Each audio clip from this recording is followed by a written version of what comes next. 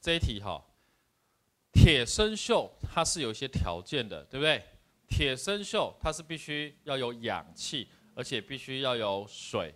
所以如果说两个同时存在的下情况下纯氧的水中对不对有有很高比例的纯氧